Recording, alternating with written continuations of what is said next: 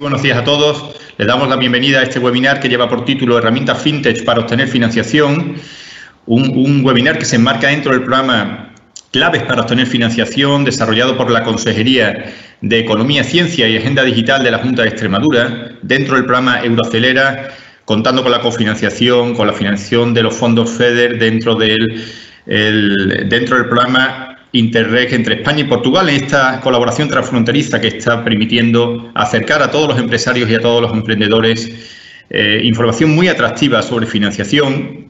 Les invitamos también a acceder a con esta financiación, esa plataforma, esta plataforma que pone en marcha la Junta de Extremadura para, para que todos los empresarios y emprendedores accedan a información personalizada sobre opciones de financiación.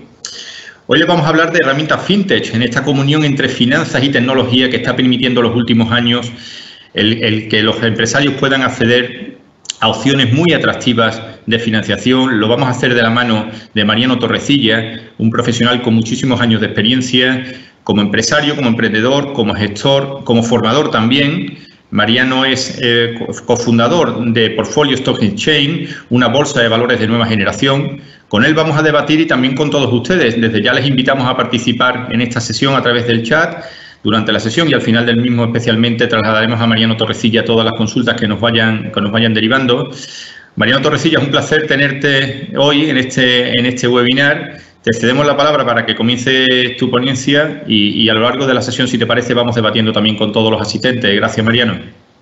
Estupendísimo Álvaro, pues muchísimas gracias y, un placer estar aquí hoy con vosotros y, en fin, pues muchas gracias por, por, la invitación. Entonces, si queréis, comparto una pequeña presentación que he preparado. Vamos a ver, no sé si me podéis confirmar que la estáis viendo ya. Sí, perfecto, Mariano.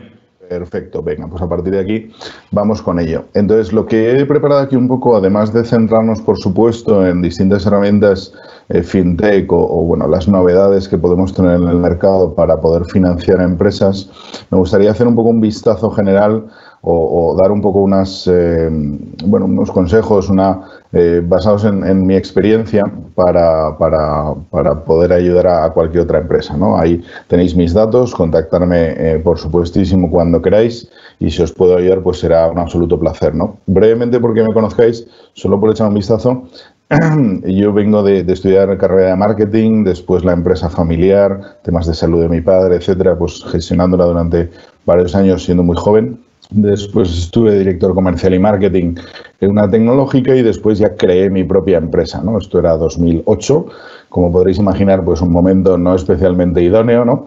Pero bueno, ahí estuvimos varios años y ahí es cuando entré a conocer el mundo de la inversión, ¿no? Entonces, ahí estamos hablando pues lo de hace unos 12, 13 años y ahí empecé a moverme para poder captar inversión eh, después estuve también gestionando una empresa de, de compraventa de, farmacias, ¿no? también hablábamos de inversión, y después ayudando en todo el mundo tecnológico a, empresas tanto a conocer a inversores como a cómo hacer todo ese proceso.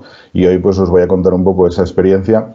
En, estos pues, 12, 13 años he ayudado a captar, tanto para mí como para otras empresas, algo más de 20 millones de euros en aproximadamente unas 30 operaciones.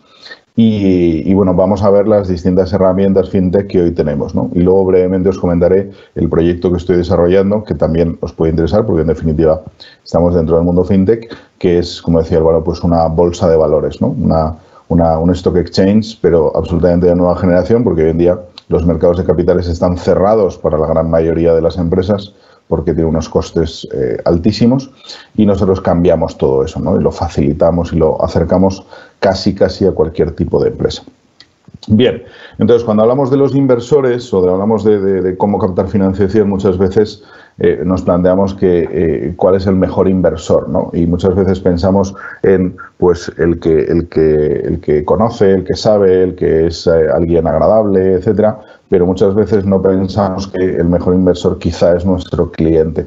Y esto a pesar de que vamos a hablar hoy aquí de, herramientas y de formas de captar inversión o financiación, a veces hay que darle una medio vuelta de tuerca para decir, oye, ¿y de verdad necesito inversión? Y aquí hay un, componente que tenemos los, los emprendedores, que, es un, poquito una salvaguarda psicológica que tenemos, ¿no? que cuando arrancamos un proyecto eh, empezamos a hacer números y planes, etcétera, es que aquí necesito no sé cuánto dinero, tal, y a lo mejor pues nos ponemos a buscar y no lo encontramos y ahí tenemos la excusa, ¿no? De, no, es que no hay dinero, es que no me quieren dar dinero para arrancar mi proyecto y, es un poco nuestra salvaguarda ante el posible fracaso, ¿no? De enfrentarnos a decir, oye, pues es que, ¿por qué no has ido a ver a potenciales clientes que igual ellos están dispuestos a adelantarte dinero o hacer algún tipo de acuerdo o algo que no te haga falta tener un inversor más puramente financiero, ¿no?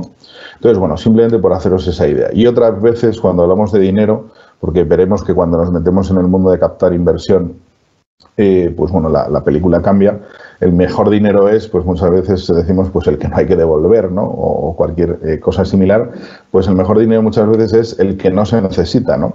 Si hoy en día, que quizá no es el mejor momento, obviamente, pero nos planteamos un viaje, pues todos pensamos, no, pues a ver, ¿y cómo vamos? ¿Y con tren o avión? ¿Y, y el hotel? ¿Y el no sé qué? Y tal y hay gente, como veis en esta imagen, pues que igual no necesita tantas cosas, ¿no?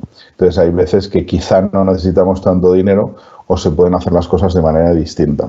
Y esto es un poco como aviso navegantes previo para, oye, que hay veces que quizá no haga falta tanto dinero o se puedan pensar fórmulas alternativas, ¿vale? Y luego, por último, esto. Cuando nos planteamos inversión, muchas veces pensamos en los inversores eh, pues eso, el típico como el tío Gilito, ¿no? O los que sean más de los Simpson, el señor Barnes, ¿no? A nivel, pues eso, eh, alguien con, con eh, del mundo financiero que, que, solo mira por el dinero, etcétera. Y, generalmente no, no, es así, ¿no? Y, y, en cualquier caso, lo que no tenemos que buscar es simplemente inversores puramente capitalistas, sino que lo ideal es conseguir socios, gente que sepa lo que estás haciendo, que te pueda ayudar mucho más allá de solo únicamente con el dinero. ¿De acuerdo? Y aquí os pongo un tuit de, fijaros, de 2015, pero que sigue completamente eh, eh, en activo.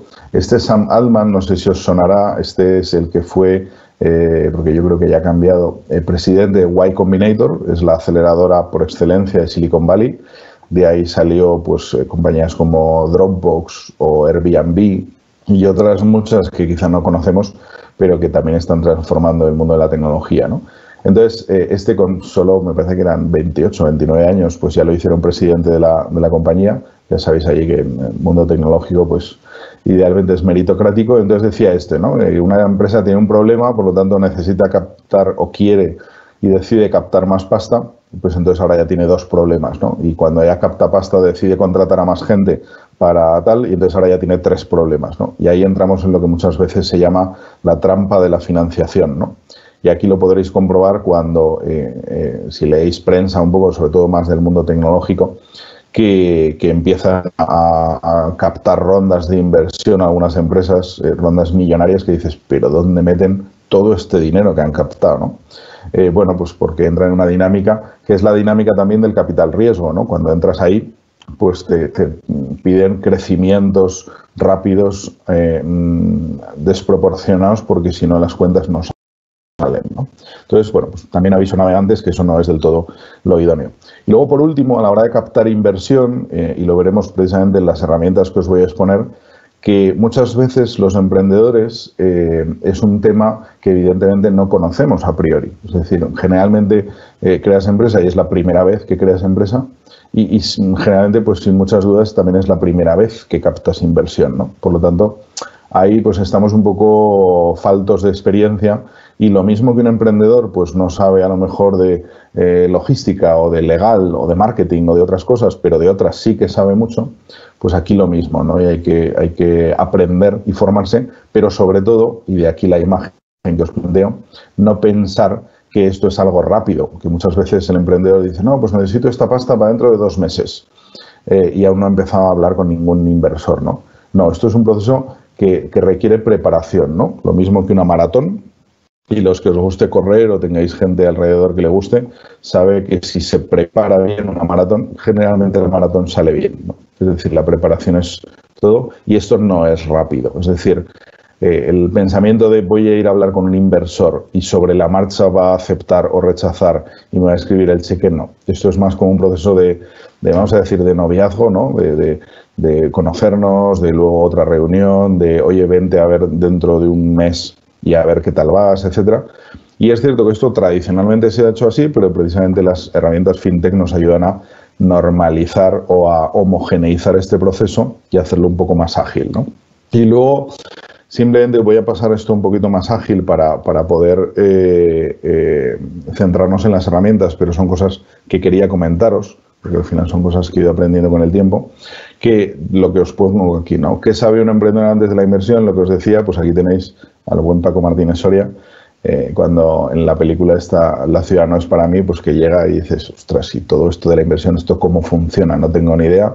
Por mucho me da igual que hayas hecho incluso una carrera de económicas o de administración de empresas o un máster. Es muy probable que en ningún sitio te hayan enseñado cómo se capta dinero de inversores y mucho menos, sobre todo en rondas iniciales, cuando un plan de negocio no tiene mucho sentido, las Excel son eh, pues poco menos que inventadas la mayoría. Dices, bueno, y entonces esto cómo, cómo, cómo se hace, ¿no?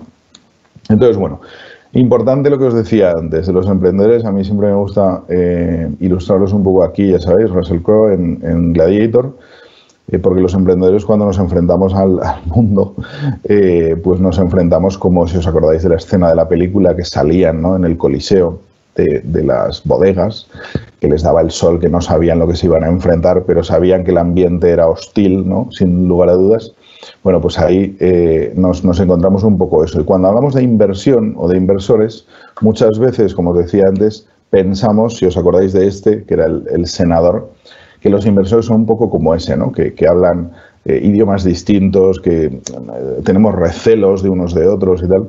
Entonces, si, si planteáis hablar con inversores así, pues yo no os lo recomendaría, porque esa relación va a ser de largo plazo, sin lugar a dudas, y, no va a ser probablemente la, idónea. ¿no? Yo os recomendaría que busquéis, como os decía antes, no busques inversores, busca socios y busques a gente más como este. Si os acordáis, este era el que le recomendaba Máximo, el que se había ganado la libertad, que había sido previamente eh, gladiador y que le, lleva un poco por el camino, ¿no? Lo que se suele decir de cocinero antes que fraile. Pues aquí lo mismo. Y si puedes tener a alguien que te pueda acompañar, que conozca dónde están los baches, que tal, más allá de solo dinero, pues sin duda alguna os lo recomiendo. Y luego brevemente, porque sepáis cómo hemos llegado aquí, el ecosistema casi te diría que español, pero internacional, aunque en España tenemos algunas peculiaridades, Siempre hablamos al principio de, las tres Fs, ¿no? Friends, Family and Fools, pero muchas veces se nos olvida la primera F, que sería la cuarta. Eh, eh, los fundadores. O sea, es muy complicado que nadie te confíe dinero si tú no lo pones. Y aquí es cierto que cada uno tendremos más o menos, pero eh, es comprensible que decir, no, es que si te ponen dinero inversores y tú no pones nada, dices, no, hombre, el argumento que tenemos los emprendedores, yo ya pongo mi tiempo, ¿no?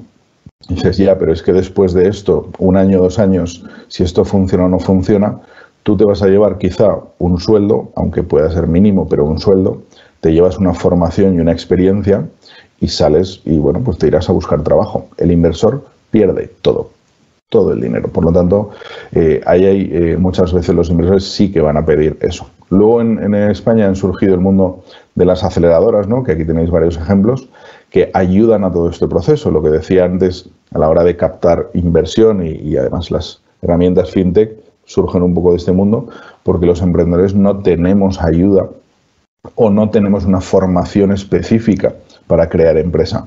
Por eso surge esto, ¿no?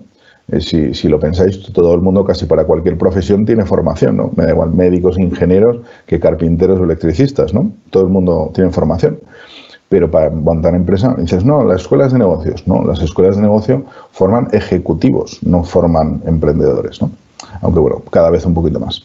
Entonces, lo que tenemos ahora para captar inversión o tradicionalmente era, eh, pues bueno, líneas de financiación bancarias, inversores privados. Esos inversores privados comúnmente parece ser que se tenía en la, en la mente eh, colectiva que invertían, pues yo sé, 100.000 euros, 150.000 euros. Pero eso no tiene sentido. Ahora os explicaré brevemente por qué y os daré unos cuantos contenidos que he ido escribiendo al cabo de los años, que tenéis ahí tiempo, vamos, eh, en cada contenido tenéis media horita de lectura por lo menos, que yo creo que os puede ser de valor.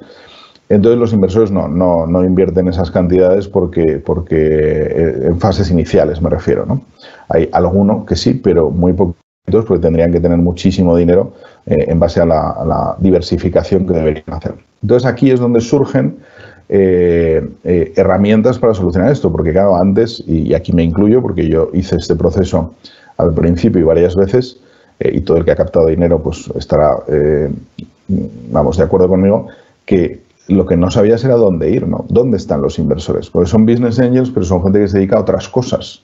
Entonces, ¿dónde están estos? ¿Cómo los contacto? ¿Qué, documentación necesito? Eh, ¿Cuánto tiempo va a llevar este proceso? ¿Cómo tengo que negociar? ¿Qué les propongo? ¿Cuál es la valoración de mi empresa? Si quiero captar dinero, ¿qué les doy a cambio? Bueno, todo este tipo de cosas pues será un, pues un, vía crucis para todos porque lo tenías que ir aprendiendo un poco sobre la marcha. ¿no? Para esto surgen distintas herramientas o plataformas, ahí surge el mundo fintech, para decir, vale, pues venga, vamos a ayudaros, vamos a eh, estructurar todo esto un poquito más y de esta manera pues os podemos ayudar a normalizar el proceso y decir, venga, pues tiene estos pasos, estos tiempos, tenéis que hacer esto, te doy incluso modelos o ejemplos de cosas para poder hacer. Y ahí es donde surge un poco el mundo del crowdfunding, equity crowdfunding, crowdlending y luego siguientes derivadas que comentaremos en el mundo de blockchain o tokenización o, incluso en nuestro caso lo que hemos creado, que es una bolsa. ¿no? Y luego a partir de ahí, pues bueno, tienes los super business angels que invierten más capital, el mundo de financiación pública, que entiendo que lo conocéis y habéis hablado en otras charlas como esta, pues de ENISA, de CEDETI, de las distintas soluciones regionales que hay, que funcionan la verdad es que muy, muy bien. Eh, y luego ya pues entramos en el mundo del venture capital, del capital riesgo, pues con fondos más o menos grandes, ¿no? Pero eso ya pues son palabras mayores. Entonces, el problema del emprendedor es eso, que no sabemos cuánto pedir o quién es inversor o dónde están. Estos procesos fácilmente nos podían llevar, y a mí al primero, 12 eh, meses. ¿Por qué? Eh, pero para captar a lo mejor los primeros ciento y pico mil, doscientos mil euros, ¿vale? Eh, ¿Qué ocurre? Que a lo mejor estabas los primeros cuatro meses que no sabías por dónde te daba el aire, hablabas con gente y, había inversores, que eso es uno de los problemas que tenemos aquí también, y lo pongo en la última fila, falsos inversores, gente que eh, te reúnes con ella, te pide documentación y más documentación y excels y tonterías que, no sirven para nada, pero que te hacen perder el tiempo y luego resulta que es que no invierten, sino simplemente porque el, concepto de business angel, pues parece que, o inversor privado, parece que es algo que mola y que se sienten así, pero hacen perder el tiempo a la gente, ¿no? Entonces, eh, luego ya empiezas a, saber con quién tienes que hablar, negocias, tal, tienes algunos compromisos, pero luego resulta que tienes que negociar el pacto de socios, que también os voy a dar unas cuantas ideas aquí y lectura para que sepáis por qué es la parte más importante. Muchas veces nos, centramos a la hora de captar inversión en la valoración de la empresa y el dinero a captar y por tanto qué porcentaje cedemos. Ay, perdonad, me pica la nariz. Eh, pero luego lo de siempre, el diablo está en los detalles y nos olvidamos de lo que es un pacto de socios o que un inversor puede tener derechos de veto o derechos de adquisición preferente o liquidation preference o que puede haber un vesting. Y si todo esto suena un poco a palabrejas raras, eh, no os preocupéis porque en el contenido que os paso para que podáis leer después de la charla eh, lo tenéis todo bastante bien explicado. No soy abogado, es más el contenido del pacto de socios veréis que lleva por título eh, un pacto de socios explicado por un no abogado, pero lo explico un poco en, el lenguaje de estar por casa y, desde el punto de vista de emprendedor. ¿no? Entonces, bueno, pues hay incertidumbre. Evidentemente, en un proceso de captación de capital pierdes el foco. Más vale que haya alguien en la empresa que la siga llevando y siga vendiendo y siga trabajando, porque esto es un trabajo de, 24-7. Así que, bueno, eh, poniendo un poco esto en antecedentes, ahora os cuento cómo está ahora mismo en el mundo y en España el mundo de la inversión. Os tengo que decir que hay buenas noticias, ¿vale? Venimos de muchos años donde no había buenas noticias, pero ahora sí. Fijaros ahí os pongo datos en la mitad izquierda de la pantalla. Veis la eh, inversión per cápita en distintos países del mundo. ¿no? Israel, es cierto que es pequeñito, pero invierte 371 dólares por cabeza. En 2014, ojito, ya hace unos cuantos años. Estados Unidos 141 dólares por cabeza, pensando que son unos 300 millones. Bueno, pues esto nos dice por qué hay países que son líderes a nivel industriales, etcétera, y, con inversión de capital riesgo, y otros países, pues bueno, aquí, lamentablemente España, país de servicios, ¿por qué? Pues porque no hay capital riesgo o no lo había. Y otros países, pues sí, ¿no? Y ahí lo veis. Reino Unido, Alemania, ¿no? 23 dólares por cabeza. La diferencia es importante con Estados Unidos, ¿sí? Ojito. Pero luego veis, estábamos ahí en España con 6 dólares por cabeza. Entonces, pues era una ruina porque no, no, existía este capital para invertir, ¿no? Luego ya en 2015, fijaros que doblamos, ¿no? Que vemos ahí en la parte de abajo, veníamos de solo 4 euros y pico. Y en la derecha veis 2019, que eh, España estamos aproximadamente ahora ya en torno a 20, ¿no? Por cabeza, 20 dólares. Nos da unos mil millones al año, que es más o menos la inversión que hay de capital riesgo, pero todavía lejos de otros países. Bueno, pues ahora mismo ya hay una industria seria de inversión en España, ¿no? tanto en fases iniciales, que ahora veremos con las herramientas, como en fases un poquito más posteriores con capital riesgo. Entonces, bueno, ¿qué sabe el emprendedor antes de la inversión? Lo que os decía, de todas estas cosas, más bien poco, eh, y sobre todo, insisto, en la parte de condiciones, ¿no? el term sheet o el, acuerdo de condiciones previo y el pacto de socios. Voy a pasar esto más ligero y, ya centrándonos en las herramientas, ¿no?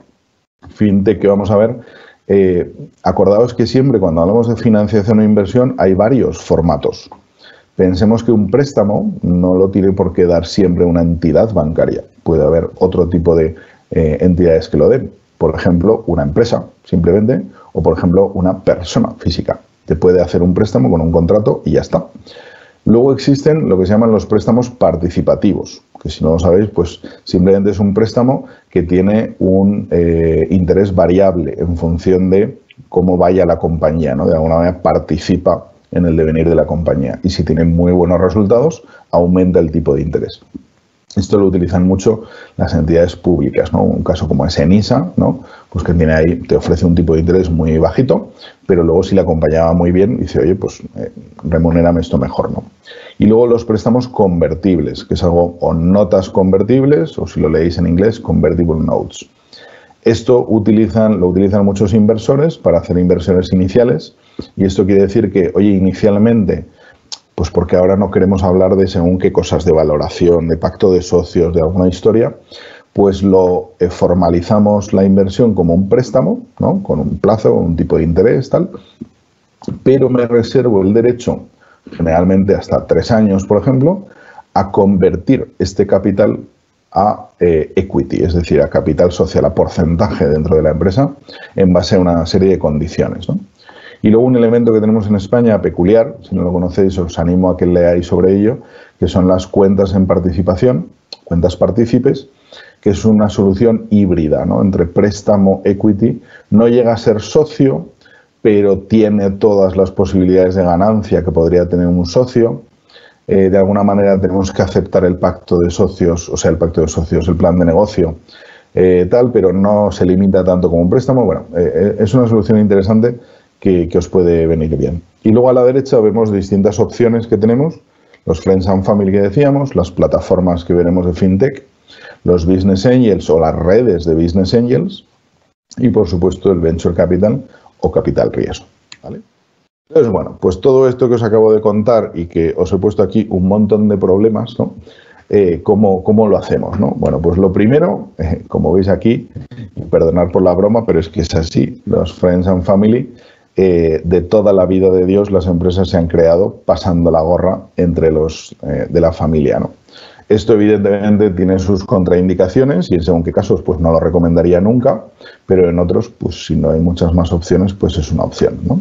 Luego tenemos distintas opciones en España, como os decía, que se han creado de coworkings, incubadoras, venture builder, aceleradoras, unas generalistas, otras verticales, otras corporate. Y aquí os pongo unas cuantas que no me voy a detener mucho tiempo en distintas eh, ciudades de España, un poco los polos grandes, pero por ejemplo en Extremadura yo sé que, está habiendo mucho movimiento eh, y la tecnología está moviendo mucho. Y aquí os pongo una serie de nombres que por supuesto si queréis os paso la presentación o la propia organización se la podéis pedir y os la pasará. Eh, pues bueno, porque tengáis aquí, que podáis leer sobre ellas, informaros, etcétera, que yo creo que puede ser muy positivo, ¿no? Y que de ahí además han salido muchas empresas interesantes. Lo que os decía de financiación pública, pues también hay que tenerlo en cuenta. Y luego eh, nosotros creamos hace ya unos cuantos años, 2015, un evento, lo llamamos Smart Money, que lo hicimos en, varios sitios, además uno de ellos fue en, Badajoz, que, en el que juntábamos a un montón de inversores de toda España, de, Business Angels, eh, pero ¿qué ocurre? Que estos pueden ser a lo mejor los más mediáticos, pero muchas veces no invierten en unas fases iniciales, ¿no? O invierten, eh, son muy selectivos a la hora de invertir, ¿no? Entonces, pues a lo mejor no son los idóneos y este proceso más tradicional es más complicado. Por eso las plataformas de fintech pues tienen sentido, ¿no? Aquí, pues bueno, más inversores, ya veréis que inversores, pues es que hay muchos, muchísimos.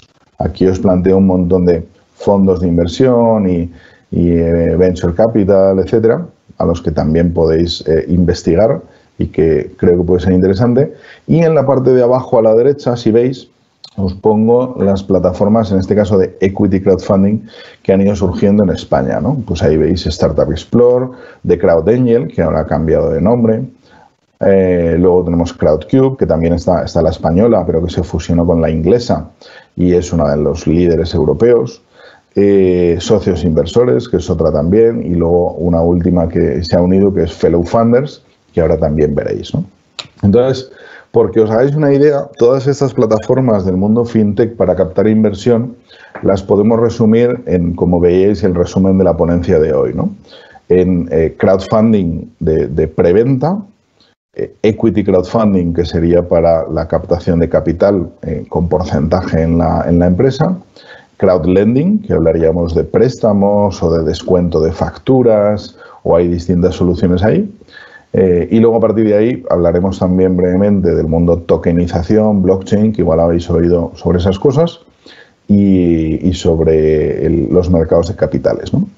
Y también os, voy a hablar de una que para los que hagáis eh, eh, bueno, venta online, e-commerce o, cualquier tipo transaccional, que financia las compras de los clientes en lo que se llama el checkout lending, que es préstamo en el checkout, ¿no? en el mismo proceso de venta, en lugar de que el cliente tenga que pagar con su tarjeta o que financie si la compra es un poquito cara o bueno, de alto precio, mejor dicho, ellos se meten y en un proceso súper fácil en el que no hay que meter más documentación, ellos tienen su propia evaluación de riesgos, le pueden financiar al cliente, me parece que eran hasta 2.500 euros sobre la marcha eh, y con un plazo de evolución creo que eran hasta 12 meses, no sé si lo han ampliado. Eh, y entonces pues le financia otro y, el cliente sigue con su tarjeta de crédito y tal, que esto pues igual en alguno de vuestros casos puede servir y ahí tenemos pues bueno, plataforma de financiación no a lo mejor para la empresa, pero sí para el cliente y esto lo puedes emplear incluso para eh, comercio online como offline, ¿no? Porque puedes tener en la tienda también la opción de, oye, pues métete aquí y a ver si te financian la compra de esto, eh, aunque lo estés haciendo en, en físico, ¿no? Entonces, aquí os traigo datos, lo que os decía al principio de la charla, para eh, daros buenas noticias porque hay dinero en el mercado. Fijaros aquí el mundo del crowdfunding en general, en global, en los últimos años, ¿no? Veis ahí desde 2015 al 18. Pues empieza muy pequeñito. Aquí está todo el mundo del crowdfunding, ¿eh? tanto preventa como equity, como de préstamo. Muy poquito, ¿no? Luego va creciendo, ¿no? En 2018 ya llegamos a unos 160 millones en global, pero fijaros ahora cómo avanza los últimos años. Este es el de crowdlending, ¿no? que generalmente es el que más dinero se lleva en España. Pues eh, en 2019 lo teníamos en 80 millones y ahora habrá superado muy, muy por encima los 100, 150 millones. ¿vale? Hay una compañía que lleva unos poquitos años, que es la que os voy a mostrar, que ha financiado ya más de 200 y pico millones y lleva pocos años, ¿no? Por lo tanto, eh, hay movimiento.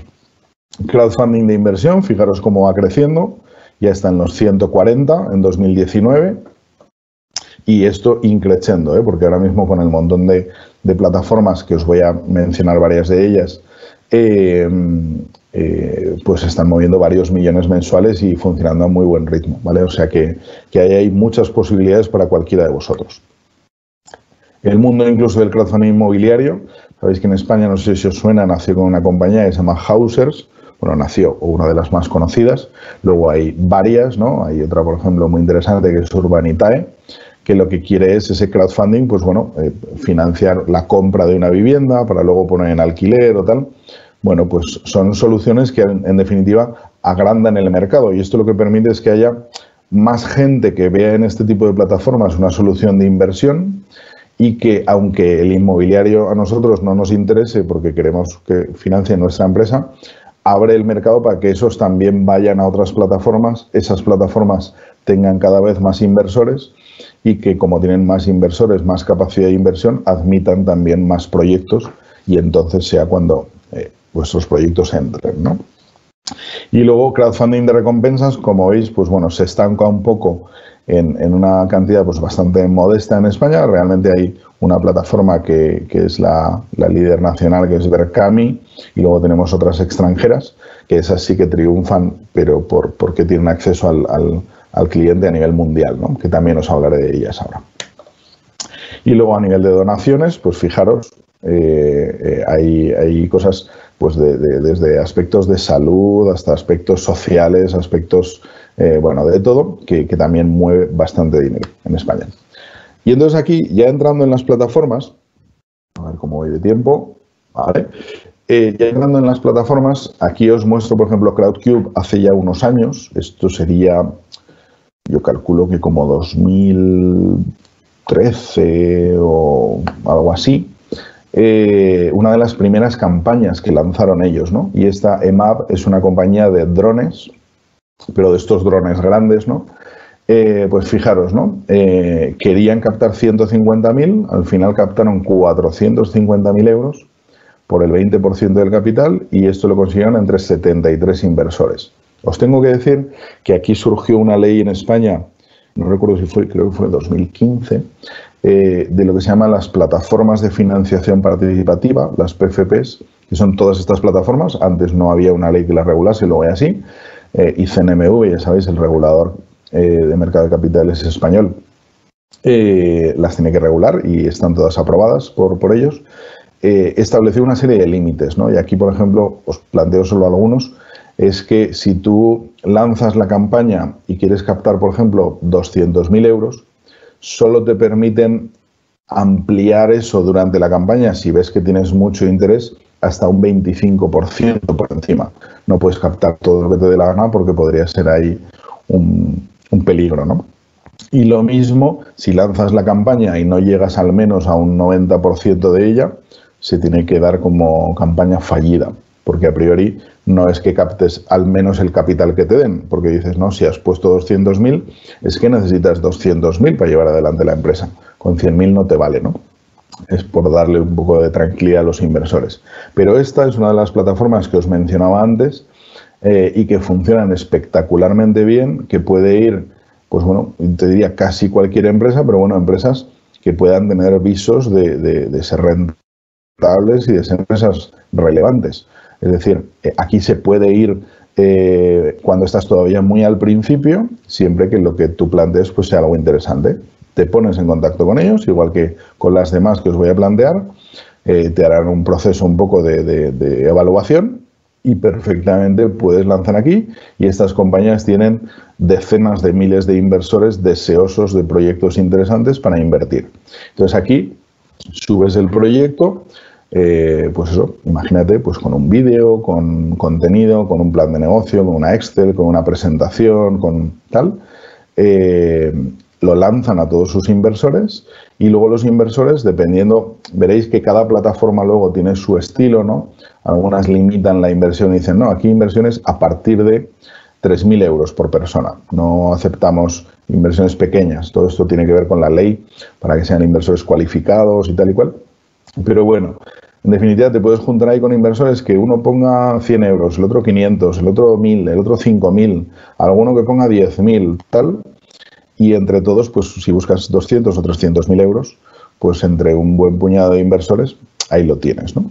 Y luego lo mejor de esto eh, es que todos esos inversores, pues tienes ahí una legión de comerciales de tu empresa que si tiene sentido, pues que hablen bien de ella y que te puedan atraer a clientes o recomendar en empresas o tal, pues, pues es algo súper, súper valioso, ¿no?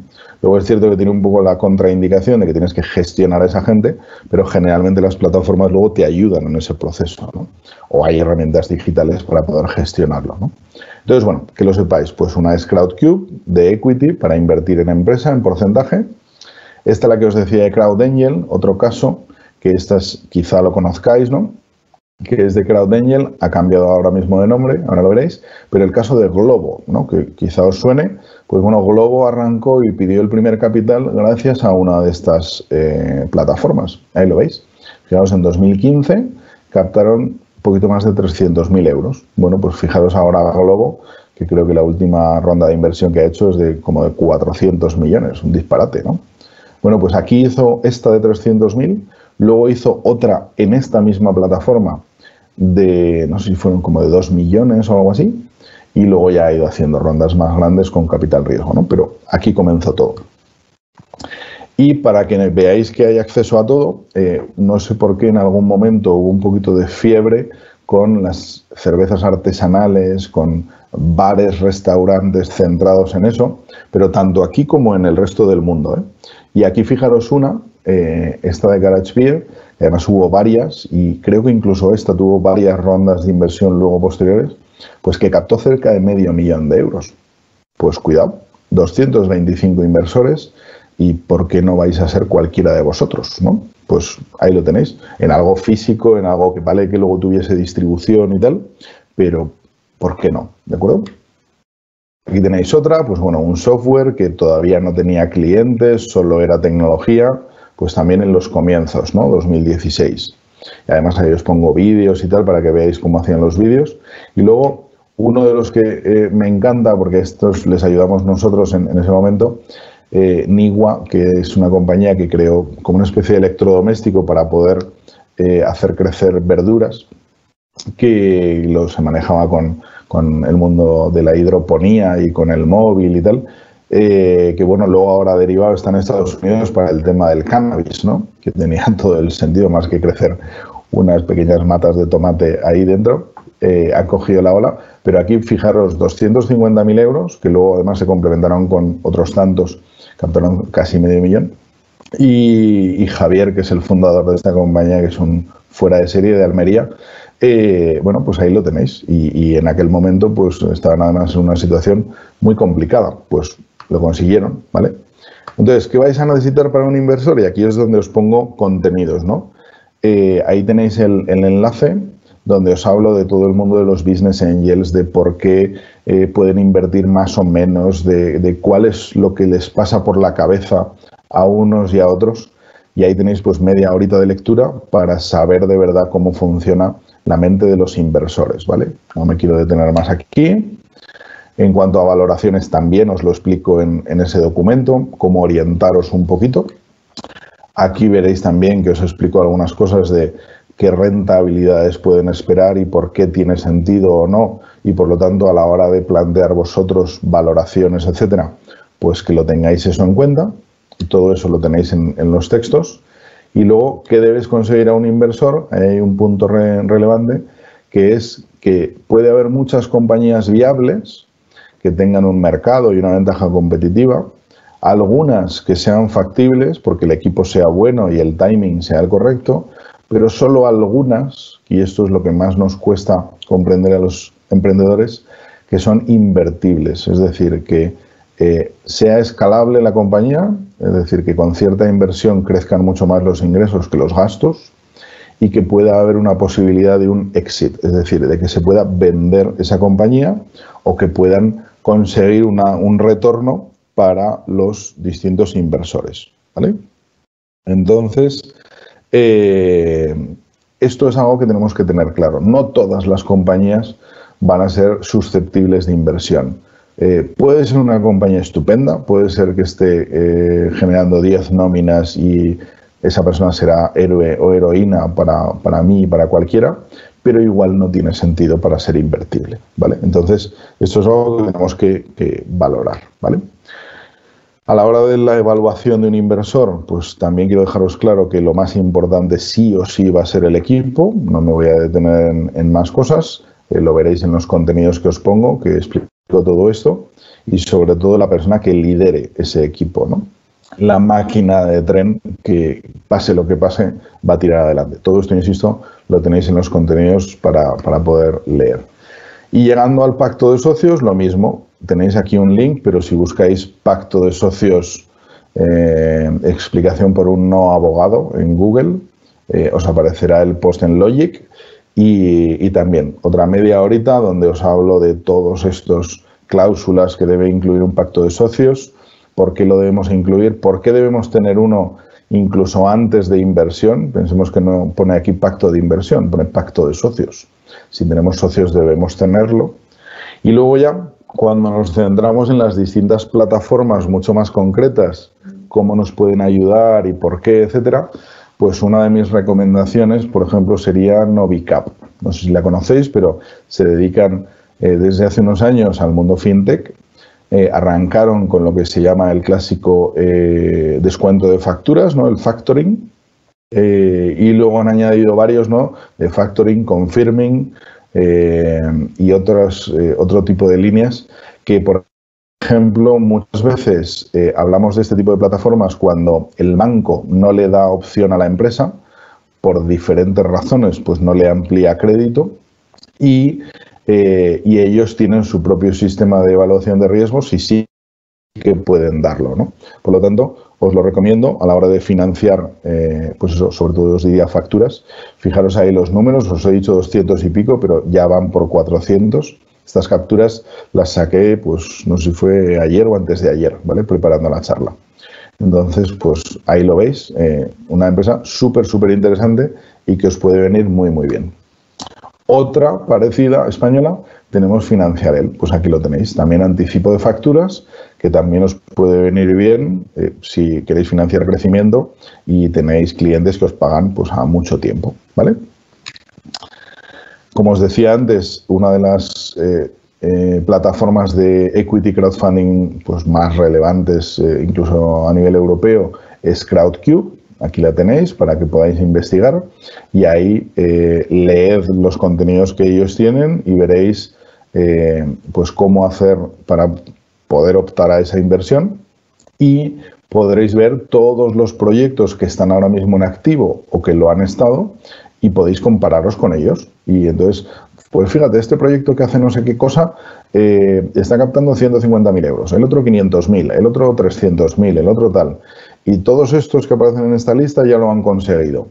Oye, ¿qué cuentan? ¿Qué dicen en el vídeo? ¿Qué contenido tienen? ¿Cuál es su plan de negocio? ¿Cómo? O sea, todo eso podéis acceder, dois de alta como inversores y podéis verlo.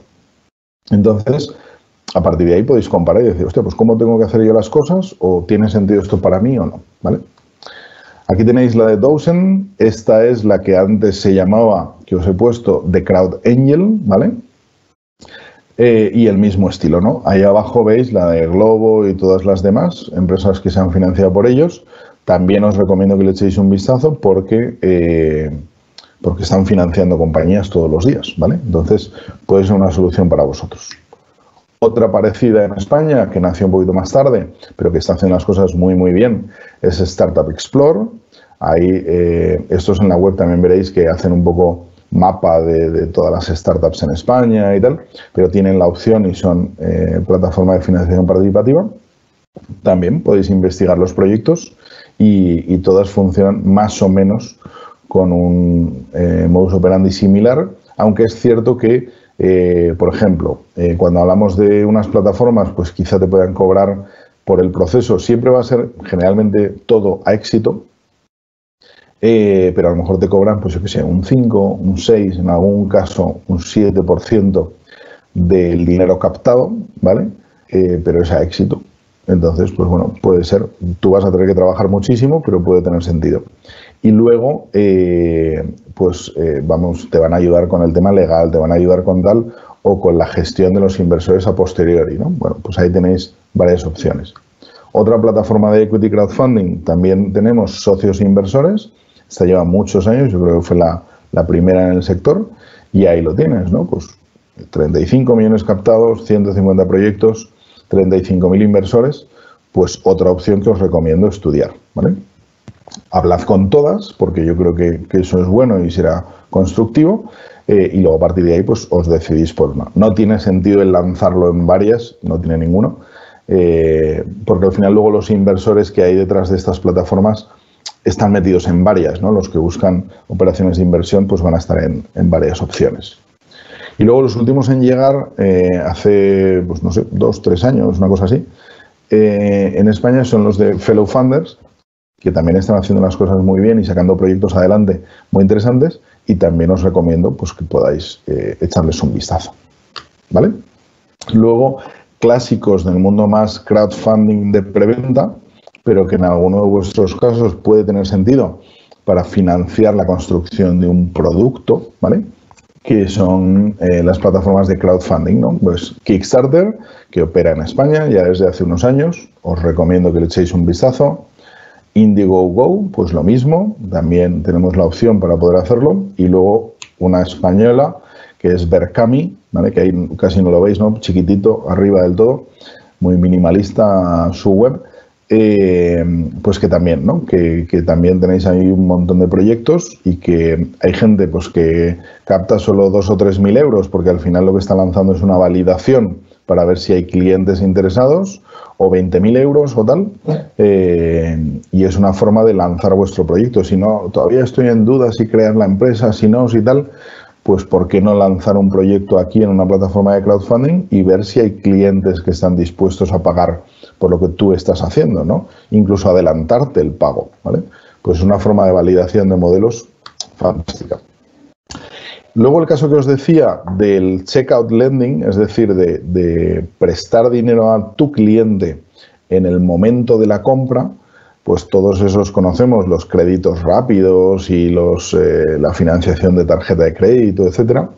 Pero claro, es que estos se meten en medio en el checkout online, cuando el cliente está comprando tal, resulta que se ha comprado lo que sea y son 400 euros de ticket claro, el usuario ya lo sabe, ¿no? Y a lo mejor tiene el dinero o no, no lo sé, pero pues la única opción que tiene es meter su tarjeta, ¿no? Y a lo mejor luego en su tarjeta de crédito luego puede financiarlo a tres meses. Pero estos se meten y es una financiación adicional, pero lo mejor es eso, que no requieren de documentación, es un proceso súper light y, el, y cada vez más los clientes pues están acostumbrados, ¿no? Además, la empresa esta la fundó un buen amigo y os la recomiendo encarecidamente. ¿vale? Ahora se la vendieron a, a WeThink, al banco, y, pero bueno, siguen de una manera eh, eh, libre ¿no? ellos. Hay más empresas como estas de checkout lending eh, internacionales que han venido a España, pero bueno, evidentemente por amistad pues os, os recomiendo esta y, y, y, yo creo que podemos decir que es la mejor, sin lugar a dudas. ¿vale? Y luego, si nos metemos en el mundo de la tokenización o de blockchain, que igual habéis oído, es cierto que es algo que todavía está muy, muy verde. ¿vale? Yo llevo ya pues, cuatro años ¿no? en este mundo, hicimos varios eventos, incluso escribí un libro, si os interesa el mundo de blockchain y la inversión y tal. No, no el mundo criptomonedas, ¿eh? cuidado, eso es otra película, también está relacionada, pero hablo más de blockchain como tecnología, como posibilidades para empresas, eh, escribí un librito, si buscáis en Google blockchain en 30 minutos, os aparecerá el librito, gratis total eh, para vosotros. Eh, y aquí surgieron plataformas como esta que veis aquí, que se llama EcoFunding, que permite a proyectos poder captar dinero con esa tokenización, ¿no? que en cierto modo es como crear una especie de acciones de tu compañía y que luego se puedan cotizar en mercados. Pero realmente hoy en día no hay mercados que admitan este tipo de productos de forma legal, porque serían instrumentos financieros. Y este fue un poco el origen también de lo que estamos creando nosotros, que al final pues no hemos creado más que una bolsa de valores, porque es lo que hace falta ¿no? para, para esto. Eh, y luego tenemos otra plataforma que acaba de salir a la luz hace no mucho en España también, que se llama Token City, eh, que también, pues, si os interesa y os motiva esto, pues os recomiendo que le echéis un vistazo, porque, porque pues bueno, mm, eh, le están pegando fuerte y, puede ser una solución para, para, alguno de vosotros, ¿vale? Así que, bueno, ahí tenéis esas dos plataformas. Eh, yo te diría que ahora mismo en España son las más relevantes y, echadles, echadles un ojo, ¿vale? Y luego, por último, pues bueno, todavía no, no puedo contar mucho porque no hemos salido a la luz. Eh, espero que pronto ya nos podáis ver en prensa. Eh, lo que estamos creando nosotros es una bolsa. Entonces, según qué empresas tengáis, si ya tenéis un cierto tamaño y sois rentables y la cosa va bien, y lo que queréis es dar un salto más grande para poder captar más capital, o incluso abrir vuestra compañía a inversores nuevos o inversores incluso vuestros clientes, ¿no? Eh, mercado minorista, etcétera, pues bueno, eh, vamos a lanzar una bolsa eh, a nivel internacional que, va a cambiar por completo el mundo de los mercados de capitales, ¿no? Y que todo lo que conocemos de ese mundo, que es algo mm, artesanal, antiguo, mm, lento y carísimo, pues que cambie radicalmente a lo que conocemos hoy en día en el mundo más digital. Así que bueno, pues en esas estamos y, quizá también para alguno de vosotros, esto es un poco hablar de, mi libro, ¿no? Pero quizá os pueda interesar. Y con esto, pues eh, más o menos he cumplido, son y 50, así que encantadísimo y vamos, un placer ahora discutir con vosotros y comentar todo lo que queráis, preguntas, dudas. Álvaro. Perfecto, Mariano. Mil gracias por tu exposición tan atractiva y tan enriquecedora. Entramos, si, te parece, en este, en este tiempo para el coloquio. Volvemos a insistir a todos los asistentes a que se acerquen a esta, a esta mesa de debate a través del chat de la sesión.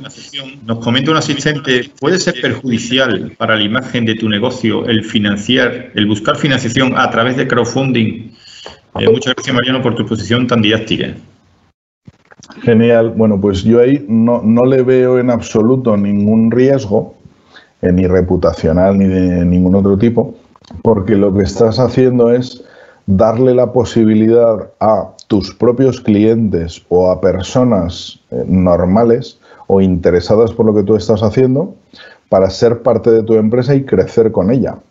La alternativa es meter a inversores generalmente puramente capitalistas que, vale, pues te meten dinero igual que los otros y que, y que, bueno, ¿por qué reservar solo el potencial crecimiento de tu empresa para los de siempre, ¿no?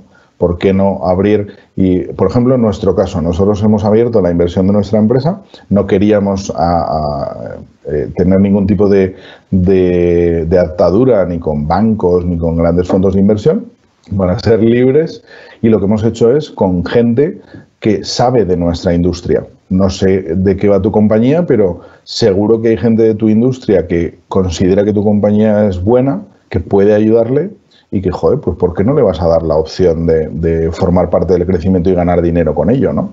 Y entonces lo que conviertes es lo que os decía, tienes una legión de personas que se convierten en tus comerciales y en tus valedores. Yo creo que eso, en muchos casos, tiene mucho más valor que el tener a un inversor capitalista y da mucha más validación para decir, hostia, gente de tu propio sector o que conoce lo que tú haces y tal, te está apoyando. Hostia, pues, pues, pues es doble confirmación, ¿no? Así que vamos, yo todo es positivo. Gracias, Mariano. Nos trasladan también, si tengo contacto con inversores, ¿no es preferible centrarme en ellos en lugar de buscar financiación a través de crowdfunding? Pues yo te diría que no, que lo ideal es que lo, hagas todo a la vez. ¿Por qué? Porque tú puedes estar hablando con inversores, y vamos, sé en la situación que estás, eh, he estado muchas veces en ella, y el problema es que generalmente vas a tener inversores que tengan bastante la sartén por el mango. ¿no? Aquí, eh, si puedes volver a contestar y, y, nos cuentas un poco más en concreto, pero lo normal es que haya un puñado de inversores que lo que te digan es, Hostia, sí, muy interesante y tal. Nunca van a tener malas palabras porque no quieren quemar puentes. Qué interesante tal. Oye, pues vuelve dentro de un mes o dos y me cuentas novedades y tal. Eh, y como no hay tantísima competencia entre los inversores, según quienes sean, incluso hablan entre ellos, lo normal es decir, eh, pues venga, pues ven dentro de dos meses, me cuentas, así tengo varios data points para poder evaluarte como emprendedor y, entonces ya veremos. Y luego ya te pones a negociar y es una negociación de uno a uno y generalmente el inversor que tiene el dinero pues se va a poner un poco eh, como, como, parte un poco más relevante, ¿no? Entonces tú ahí la negociación, si tienes solo unos pocos y tal, la tienes complicada. Ahora bien, si tú el inversor le dices, no, no, sí, sí, pues vamos a seguir hablando, genial, tal, pero a la vez hay un elemento, eh, en inglés se dice el FOMO, ¿no? El Fear of Missing Out, es decir, el miedo a perder la operación, que si solo negocias con algunos inversores igual no lo tienes, pero si lo pones y lo puedes hacer compatible en una plataforma en el que el inversor va viendo que el 20% está cubierto, el 30%, el 50%, el 60%, ahí le estás metiendo el miedo a perder la oportunidad en vena a ese inversor para decir, oye, que yo quiero inversor que vengas, pero que si no tengo, fíjate, que me lo quitan de las manos, ¿no? Eh, entonces es una forma de meterle el acelerador a ese inversor y tú ganar peso específico y activos para tu negociación. Así que 100% compatibiliza las dos cosas. Gracias, Mariano. Eh, nos trasladan igualmente, ¿el crowdfunding es para cualquier tipo de proyecto? Quiero decir, tenía entendido que para una campaña de crowdfunding es necesario tener alrededor de tu proyecto una comunidad consolidada. Muy bien, pues bueno, tú has eh, estudiado o sabes de qué va esto. Es cierto, eso eh, es recomendable para el crowdfunding de preventa, ¿vale? ¿Por qué? Porque eso facilita mucho más el lanzamiento. Cuando hablamos de crowdfunding de preventa, generalmente hablamos de productos, etcétera. Entonces, claro, si tú lanzas un producto eh, en un sector, en un ambiente, en una comunidad, que ya está creada y ya tienes seguidores en tus redes sociales o algo parecido, joder, pues eso facilita mucho la vida, es evidente, ¿no?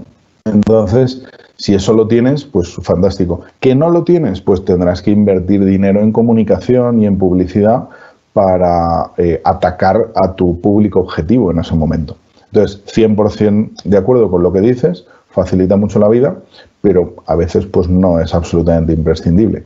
Y luego en el mundo del equity crowdfunding, cuando hablamos de inversión en la empresa y porcentaje, ahí sí que no hace falta que tengas esa comunidad.